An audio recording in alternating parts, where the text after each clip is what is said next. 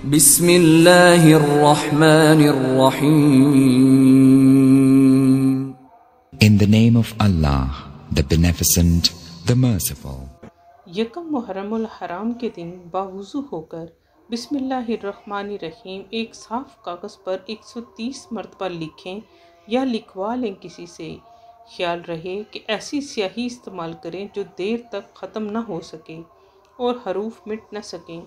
फिर इस कागज़ को तावीज़ की तरह फोल्ड कर लें और इसको किसी कपड़े, चमड़े या रैक्सीन में लपेट कर अपने पास रख लें। या अगर चाहें तो गले में पहन लें।